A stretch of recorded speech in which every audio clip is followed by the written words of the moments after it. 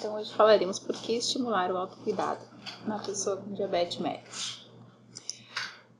Relembrando então o caso do Sr. João Taborda. O Sr. João Taborda, então, é um usuário com diabetes mellitus tipo 2, que refere que não gosta de ir ao médico e que não adere também ao tratamento médico. É, esse panorama é um panorama bastante comum na atenção primária, onde os usuários, principalmente os do sexo masculino, eles têm uma certa resistência ao comparecimento às unidades de saúde. E tendo em vista o aumento expressivo no número de usuários com doenças crônicas não transmissíveis, faz necessário um olhar mais ampliado sobre essa situação de saúde.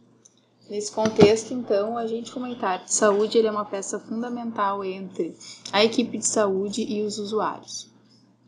Nesse sentido, então, o diabetes mellitus ele vai representar um problema pessoal e de saúde pública com grandes proporções quanto à magnitude e a sua transcendência. Ah, algumas estimativas da Organização Mundial de Saúde uh, indicam que o número de portadores, de portadores da doença em todo o mundo que era de 177 milhões em 2000, pode alcançar mais de 350 milhões de pessoas em 2025. No país, ela deve alcançar 10 milhões de pessoas em 2010. A prevalência estimada é de 7,6% na população, na faixa etária entre 30 e 69 anos no nosso país. Etiologia da diabetes. Devido às alterações metabólicas né, de defeitos da secreção e ou defeitos na ação da insulina, que ocorre pela destruição das células beta do pâncreas ou a resistência à ação periférica da insulina.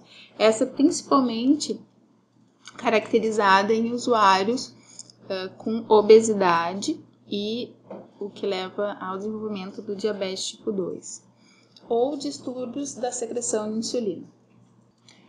Atualmente, a classificação do diabetes proposta pela Organização Mundial de Saúde e pela American Diabetes Association, ADA, é baseada na etiologia da doença e ela vai incluir quatro classes clínicas: diabetes tipo 1, diabetes tipo 2, a diabetes gestacional e outros tipos muito específicos de diabetes.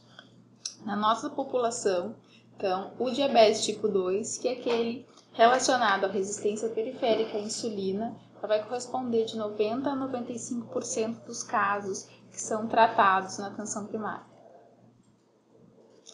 O diagnóstico de diabetes no adulto, né, sendo exceção a gestantes, ele inclui então sintomas clássicos como a poliúria, polidipsia, perda de peso sem explicação aparente, associados a uma concentração de glicose plasmática acima de 200 mg por decilitro qualquer hora do dia, sem considerar o tempo da última refeição, ou também a glicemia em jejum maior que 126 mg por decilitro, sendo a ausência de ingestão calórica por no mínimo 8 horas. Ou é, em exames de pós-sobrecarga de 75 mg de glicose, onde tem uma glicemia após duas horas maior que 200 mg por decilitro. Quais exames, então, são solicitados ou eles são realizados com bastante frequência para estabelecer o diagnóstico? A glicemia de jejum, que vai refletir o nível de glicose sanguínea no exato momento da realização do teste, e um exame que é indicador de controle um pouco mais extenso da diabetes hemoglobina glicada, que vai demonstrar a glicemia média durante os dois a três meses anteriores à data da realização do teste. Ele vai ser, ter grande utilidade na avaliação do nível de controle glicêmico e da eficácia do tratamento, sendo que 7% é o limite superior recomendado da curva, acima do qual vai estar indicada a revisão do esquema terapêutico. Então, quais fatores têm sido descritos na literatura para justificar esse aumento da prevalência do diabetes tipo mellitus, é, diabetes mellitus tipo 2 na população? O envelhecimento, características também da urbanização crescente e principalmente a adoção de estilos de vida pouco saudáveis, tais como o sedentarismo, a dieta inadequada e a obesidade, sendo esses últimos os grandes responsáveis pelo aumento da incidência e também da prevalência do diabetes tipo 2 em todo o mundo.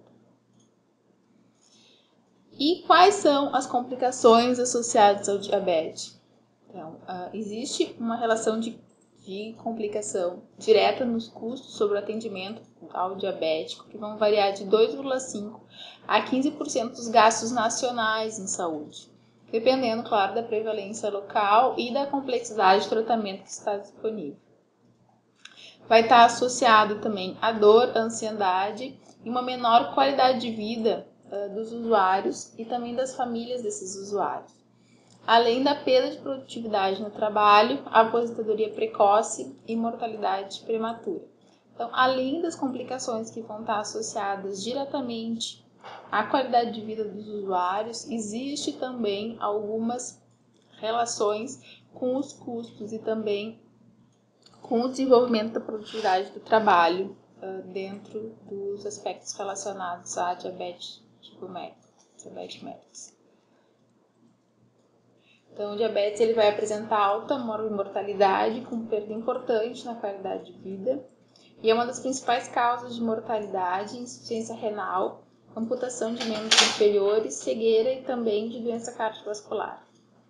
E algumas evidências demonstram que o controle e a prevenção de complicações são possíveis por meio de programas de educação e estratégias participativas que vão orientar e incentivar mudanças comportamentais associadas ao autocuidado.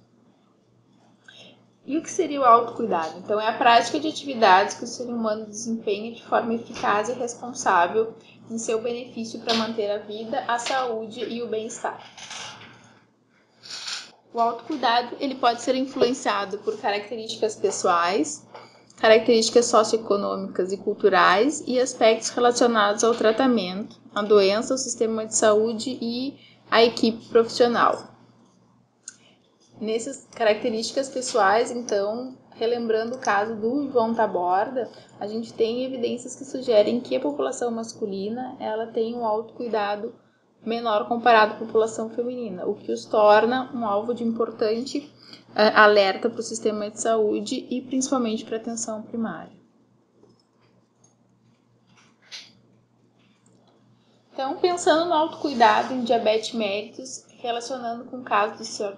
João Taborda, quais estratégias que eles podem ser adotadas pelos agentes comunitários de saúde para qualificar o cuidado?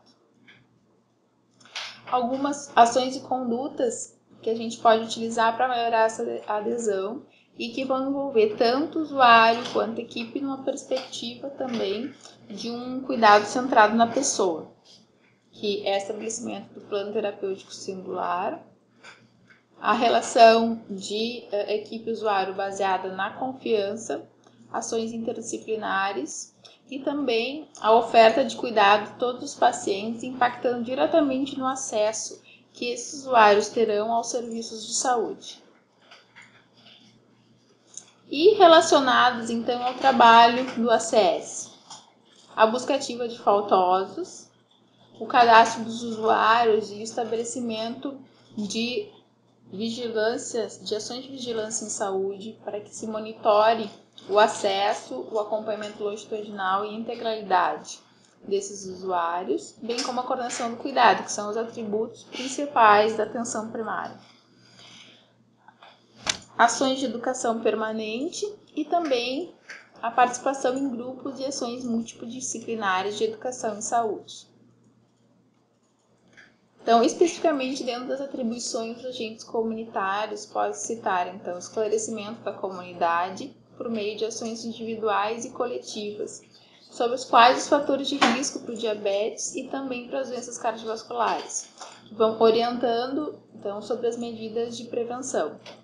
Orientar a comunidade sobre a importância de mudanças nos hábitos de vida ligados à alimentação saudável e à prática de, prática de atividade física rotineira e identificar na população descrita quais seriam os fatores de riscos descritos dentro dos membros da comunidade quais teriam maior risco para desenvolver o diabetes tipo 2. Então, orientando a procurar a unidade de saúde para definição do risco pelo enfermeiro ou médico. Lembrando sempre da importância de se ter um profissional médico um profissional enfermeiro e odontólogo de referência que vai fazer o cuidado desse usuário ao longo do tempo. Além disso, registrar na ficha de acompanhamento diagnóstico de diabetes de cada membro da família e encorajar uma relação paciente-equipe colaborativa, com participação ativa do paciente né, na estratégia de cuidado centrado na pessoa e, dentro deste contexto, ajudar o paciente a seguir as orientações alimentares, de atividade física uh, e também de cessação do tabagismo. E muito importante a observação de como uh, esses usuários utilizam a medicação. Não é incomum a gente ter usuários que, embora estejam com a prescrição correta da medicação, fazem o uso de forma irregular monitorar então como esse usuário está fazendo o uso da medicação e orientar a procurar a unidade de saúde caso identifique algumas dificuldades. Algumas unidades, como exemplo, utilizam uh, potinhos com identificação gráfica, por exemplo, o sol ou uma lua, para orientar que aquele usuário utilize aqueles medicamentos nos horários recomendados. E além disso, estimular que os pacientes se organizem em grupos de ajuda mútua, como por exemplo grupos de caminhada, trocas de receitas, técnicas de autocuidado, entre outros. Além disso, pode-se questionar a presença de sintomas de elevação ou queda do açúcar no sangue aos pacientes com diabetes identificados e encaminhar para consultas dia e verificar o comparecimento desses pacientes às consultas agendadas na unidade, na unidade de saúde como por exemplo a busca ativa de faltosos.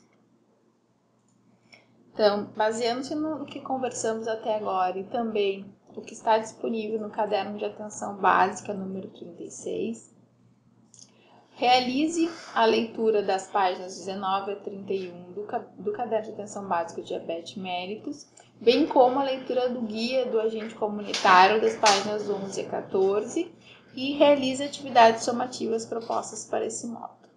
Bom trabalho!